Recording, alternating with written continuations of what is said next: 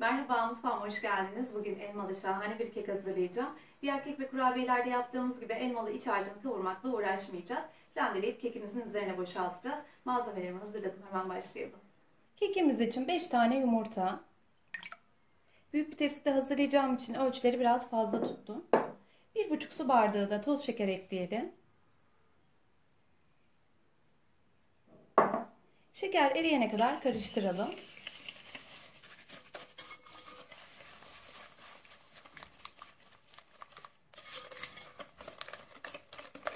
Şekerle yumurtayı iyice karıştırdım. 1 su bardağı sıvı yağ. 1,5 su bardağı da su ekleyeceğiz.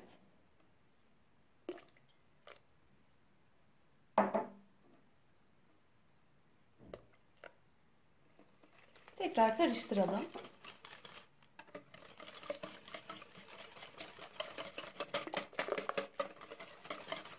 Malzemelerimizi eleyerek ekleyelim. Kabartma tozu, un ve vanilya koyacağım. Un miktarını e, kekimi karıştırdıktan sonra sizlere de söylerim. İlk etapta bir su bardağı un ekliyorum. Bir paket kabartma tozu.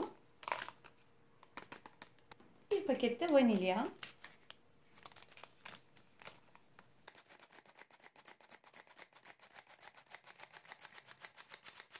Kek harcım hazır. Toplamda 3,5 su bardağı unla kek harcımı toparladım. Şimdi bunu kenara alıp elmalı iç harcımızı hazırlayalım.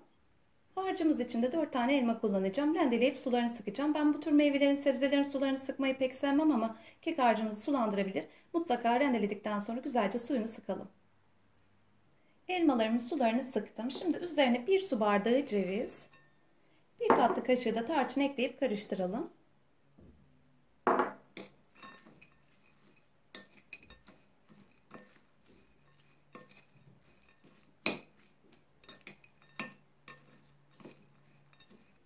Kullanacağım fırın tepsisini yağladım. Harcımızın yarısını boşaltalım.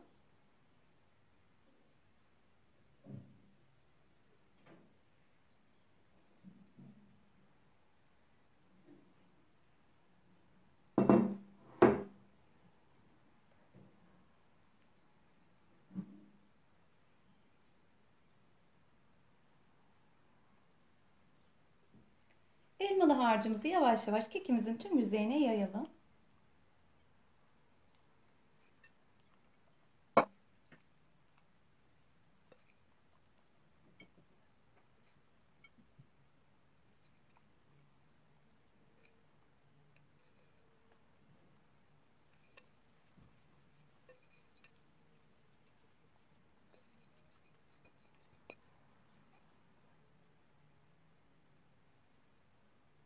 Kekin diğer yarısında bir kepçe yardımıyla elmaların üzerine yayalım.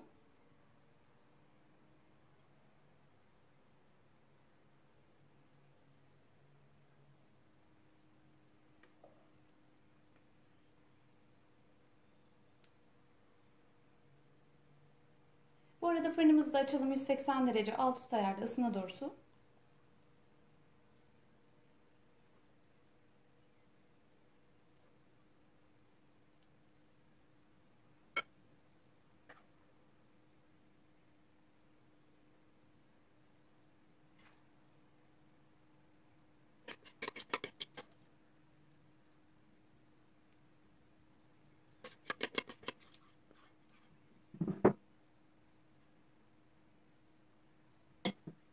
Altı üstü güzelce kızarana kadar pişirelim.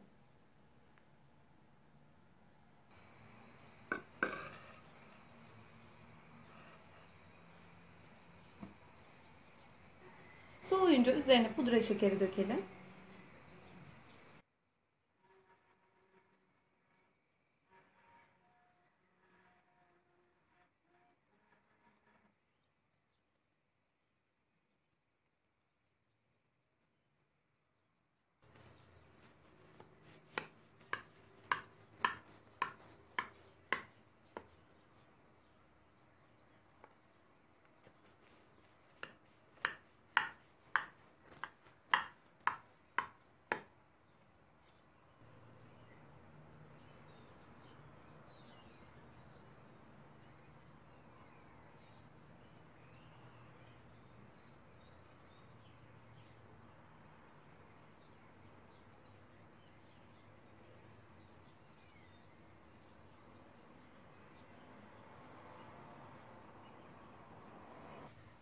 Pasta gibi çok güzel oldu. Mutlaka denemenizi tavsiye ederim.